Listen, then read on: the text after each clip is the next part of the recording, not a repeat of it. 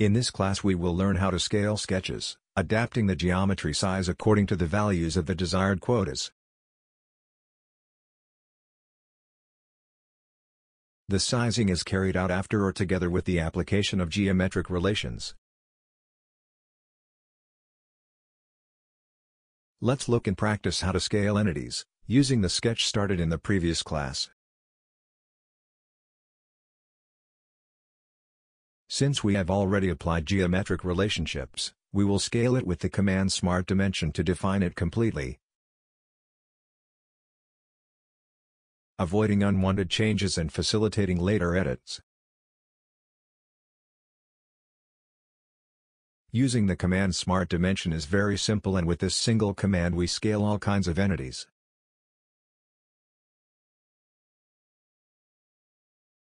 We click on the command, Click on the line we want to scale and move the mouse, noting that the current value of the entity is shown.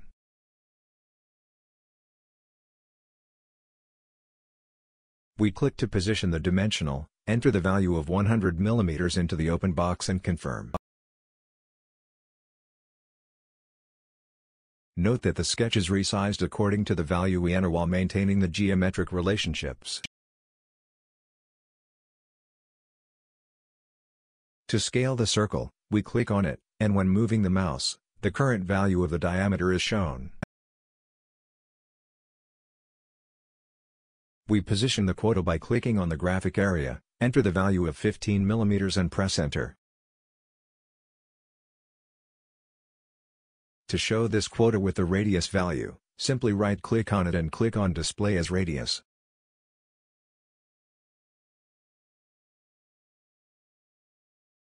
We quote the distance from the circle to the entity on the left by typing the value of 20 mm.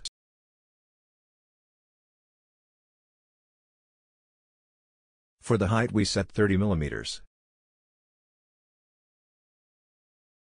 The left vertical line we set with 100 mm and the distance between the circles with 50 mm.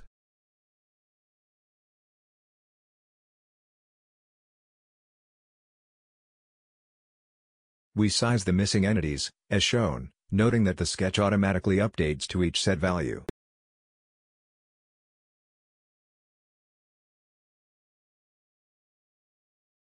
To exit the command we type escape, or click on its icon again.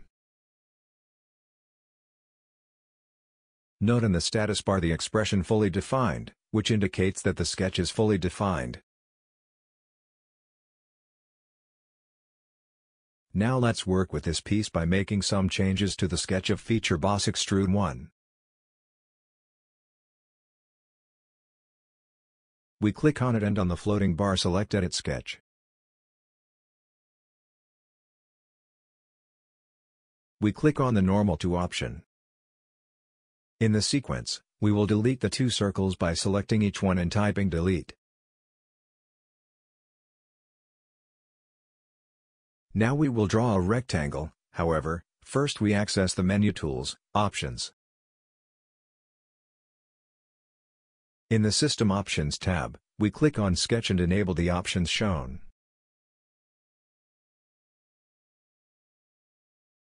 With these options enabled, we can enter the values of the dimensional at the time we are drawing the entities.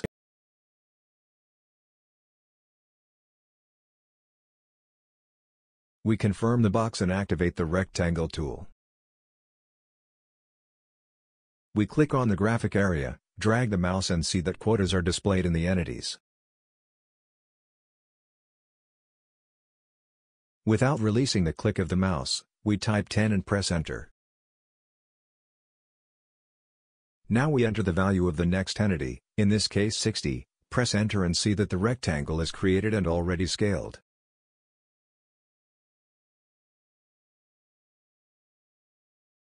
We can also use this feature for other commands such as line and circle. We can also define a sketch automatically, using the command fully define sketch, accessed by right-clicking the mouse in the graphic area.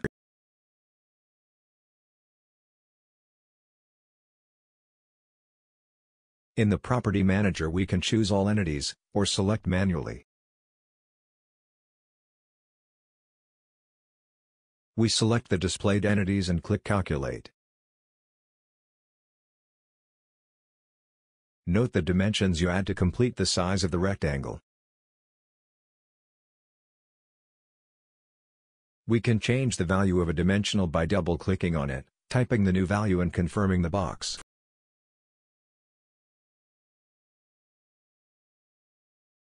We make the changes and confirm the sketch.